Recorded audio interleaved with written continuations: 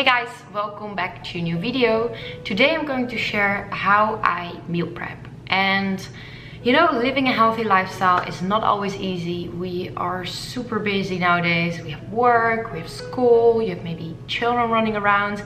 And if you come home, it can take a lot of effort to uh, cook for yourself. So during your meal prep, you prepare all different kind of foods so you can make really, really easy meals uh, for during the week or you can make meals uh, to take with you to work if there are no healthy options over there. There are a couple of really good benefits of meal prepping because it is a huge time saver. If you just take uh, one hour on a Sunday afternoon, you will have food for the rest of the week ready. Um, besides a time saver, it is also a big money saver. If you do all your groceries at once and maybe in the weekend on a local farm, uh, you might get some discount. Uh, you don't waste any food and it is much more cheaper than grabbing food or ordering food during the week. Another really big benefit of meal prepping, and it sounds maybe a little bit strange, but it really helps you control kind of snack attacks and it manages really when you're hungry because when you're hungry and you have to start prepping your food, it takes a while and it's most likely you're gonna grab for something easy, quick and unhealthy.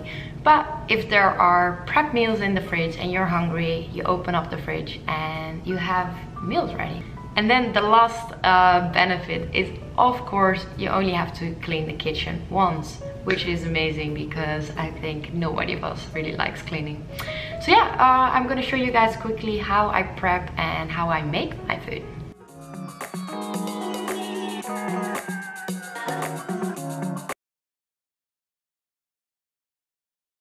Have a base. You can use spinach, arugula, kale, or mesclun, anything you like. Add a filling, something what's gonna keep you full, makes you energized, and which is full of fiber. Go for whole grains like quinoa, red lentil pasta, or brown rice. Prepare your favorite veggies. It is winter time, so I like to get seasonal vegetables. Give your meal some extra protein.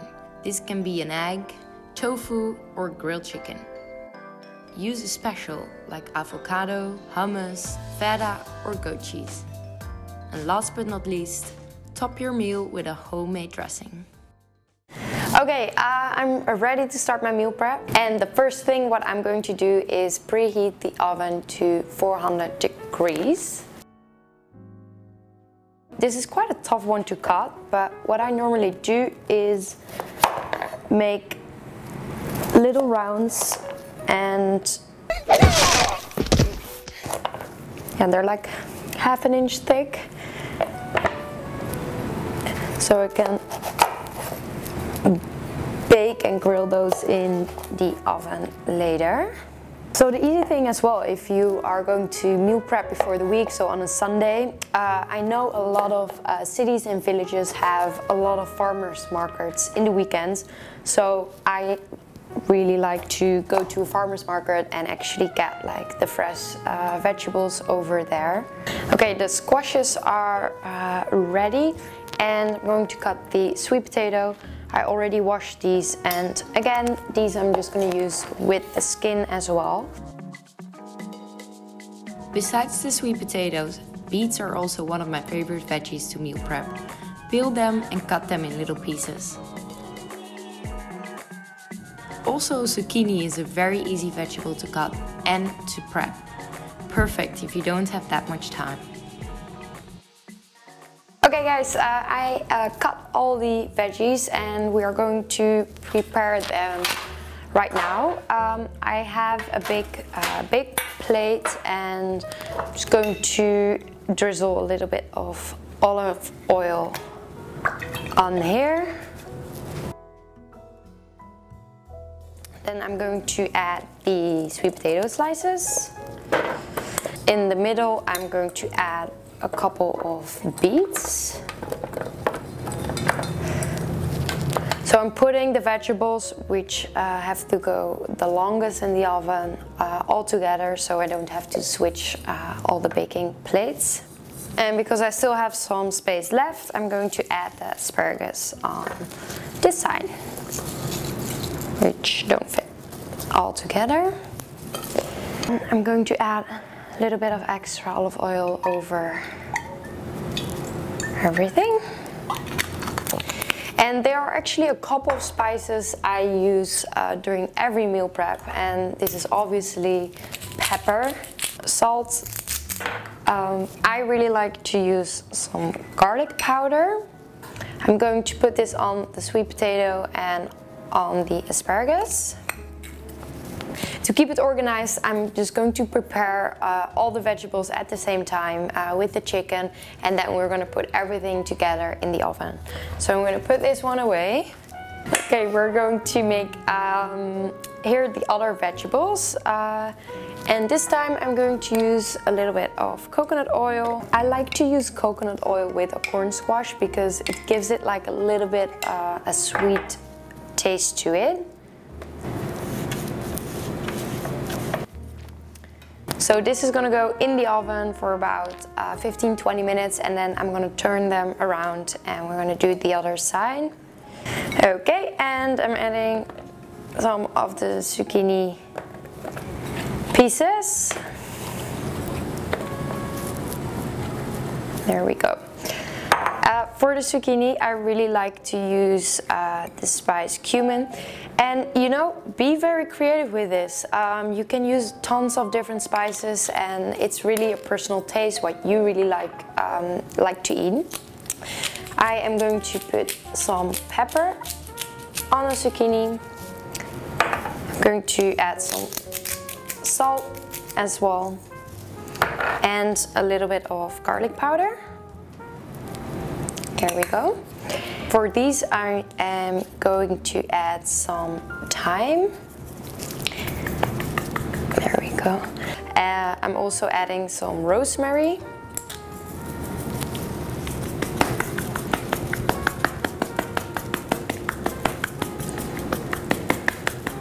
There we go. And then this is also ready to go into the oven.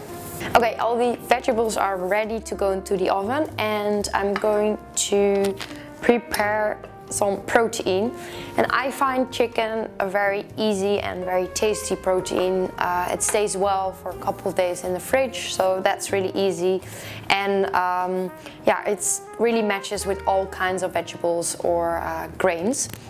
So I'm going to add a little bit of olive oil in here and I'm going to put organic chicken into a plate. I always try to buy um, free range and um, chicken without any hormones which are way healthier.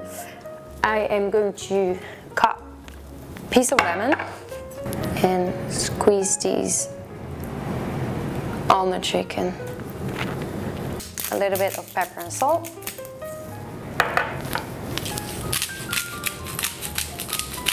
Adding a little bit of thyme.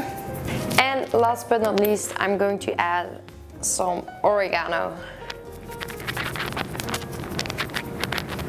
There we go. Okay, all the vegetables and uh, the chicken are ready to go into the oven. And because everything has uh, to cook uh, for a different amount of times, I'm going to grab my phone and put the alarms on there. So I keep on track uh, when I need to get things out of the oven as well. I set the timer for 15, 25 and 40 minutes later the note from the beginning is very useful for this. While everything is baking in the oven, we are gonna prep the filling for the meal. One of my favorite is the red lentil pasta. This is grain-free and full of fiber. Let this cook for about 8 minutes. Brown rice is a very good base as well. It has the highest amount of vitamin B of all grains. It's easy to use as a base or as a filling for salad or wrap. Something I always make for my meal prep is quinoa because besides that is a good filling, it contains a lot of protein as well. And this is very great if you're a vegan or vegetarian. Let this cook for about 15 minutes. Okay, uh, everything uh, is in the oven. I cleaned up a little bit and I'm going to make the dressings. Um, I like to make three different dressings into these. Uh, oh. Our first alarm goes off. Um, I have to turn around my acorn squash.